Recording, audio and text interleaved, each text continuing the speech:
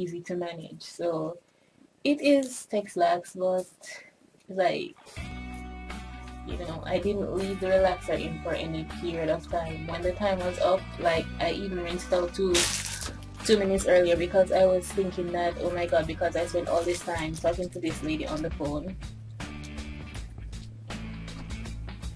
I might have like over relaxed or something don't know if you guys can see that. It looks a lot better than it did wet yesterday. I think the hooded dryer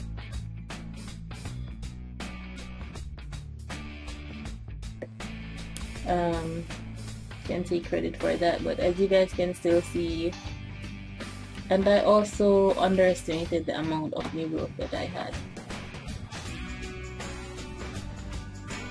I didn't know that it was so much. So wherever you guys see waves that's like growth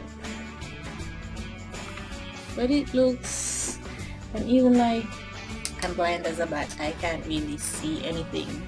Like yeah I usually wear contacts but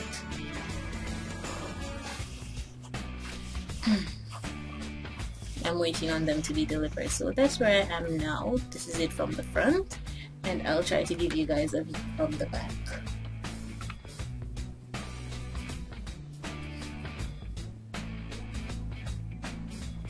it's not like a hundred percent straight so and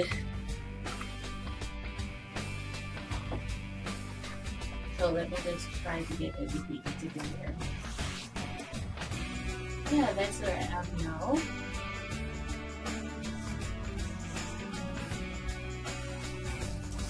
But yeah, that's it guys. I will upload a video of my hair when it was like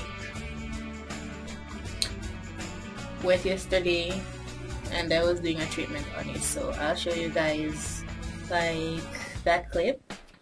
And I don't know. Something crossed my mind because recently I started to do like a lot of apple cider vinegar rinses to make sure that my scalp was clean and healthy.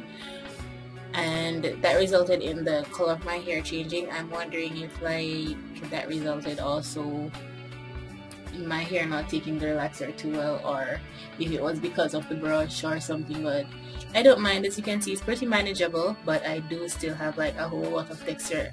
And the reason why I want to like minimize the amount of texture that I have is because when I was younger I had so much hair and it was very hard to deal with. I have memories of breaking combs my mother breaking combs on my hair like as in combing it and my hair being too hard to manage and the comb will like literally break so I don't want it to reach a point where I can't manage it or where it becomes bothersome.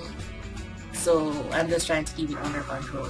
But anyways, thanks for watching guys and I'll let you know what's happening with my hair. As I said, by the end of this week it should have been like stretched completely because I'll keep wrapping it. And I'll like give you guys an updated video